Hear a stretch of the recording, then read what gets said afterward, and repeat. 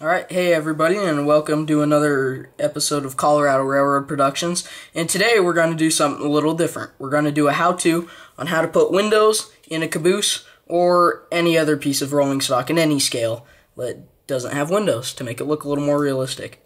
Alright, so the first thing we're going to need is we're going to need some toothpicks. We're going to need some like blister pack type. We use this from a Kato track box. A pair of scissors and a screwdriver and some super glue.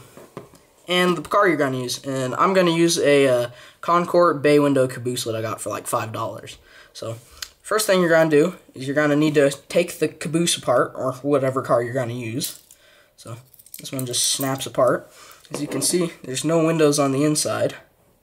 So, now that you've got your caboose part, you can go to step two, which is you take your blister pack, and you can just cut a straight piece off, like I'm just using the little corner here. Cut it. And here's your piece. And then you just use a whole strip for the whole inside of the car. So, since this is a bay window, we'll only do the ends for now. And so, just kind of eyeball it and cut it. You can always cut it later if it doesn't quite fit. So, trim that down. And see if it fits, and it fits okay. And so then what you're going to do is you're going to get your super glue and get dip your toothpick in it. Get a good bit on there, but don't do too much or it could smear. And then rub it on the inside there, so there's decent amount. Put a little more on.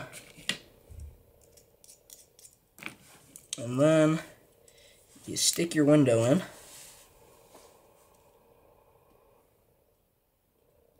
Like so.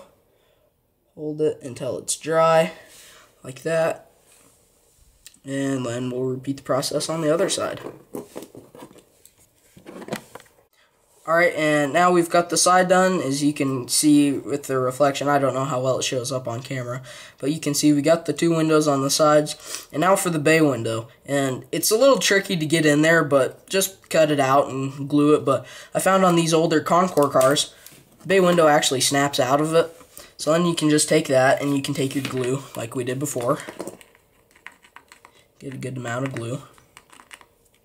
Then you can just kind of rub it on there Get it all over so it sticks really good.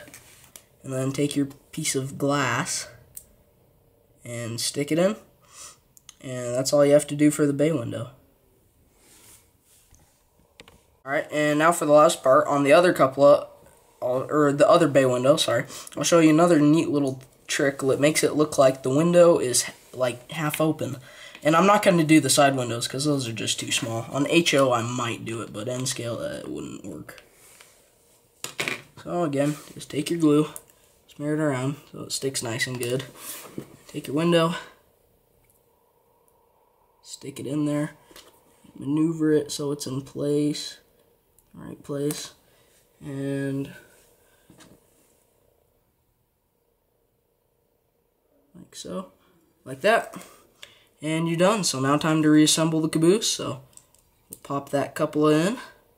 And see, it kind of looks, I don't know if you can see it or not, but it looks like it's half open, half closed, which is kind of a neat little trick to make it look more realistic, but this trick works really well for older cars that do not come with windows, because a lot of the newer high-end cars do include windows, but since most of the older ones don't, it's kind of a neat trick that makes your car look a little more realistic. And then you just kind of snap it back together, how it went like that, and you're done.